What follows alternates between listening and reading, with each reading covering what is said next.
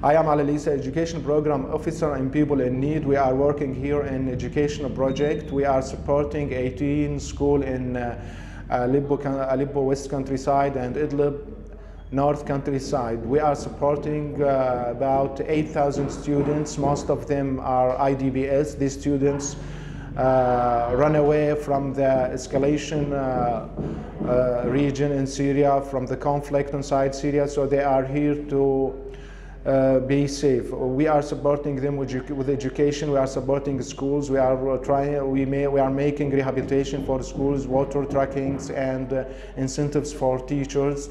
We are making some training for teachers to make them more qualified and to improve the quality of education inside uh, our schools.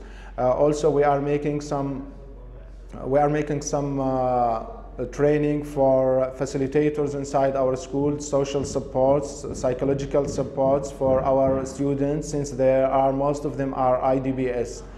Uh, we are aiming in the next year or in this year to support secondary school or vocational training uh, institutes in uh, north of Syria and in west of Aleppo, in south of Idlib, uh, north of Idlib, and we are trying to go deep inside Syria, inside the Idlib city, maybe no, south of Idlib city.